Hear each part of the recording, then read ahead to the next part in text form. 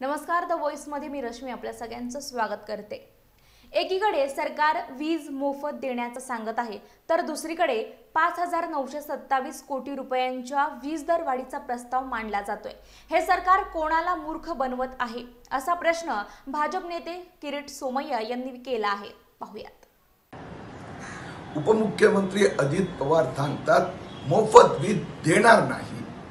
आणि ऊर्जा मंत्री नितीन राऊत सांगतात शंभर युनिट वीज मोफत दिल्याशिवाय राहणार नाही. हे कुणाला मूर्ख बनवतात? एका बाजूला मोफत वीज देण्याची बात करतात आणि त्याच वेळेला पाच हजार नऊशे सत्तावीस कोटीची वीज दरवाढ ही ठाकरे सरकार महाराष्ट्राच्या जनतेवर लादते आता ही नौटंकी बंद करा. अशाच बातम्या आणि ताज्या अपडेटसाठी पाहत राहा फक्त द वॉइस बातमी थेट अचूक आणि बिनधास्त. नमस्कार.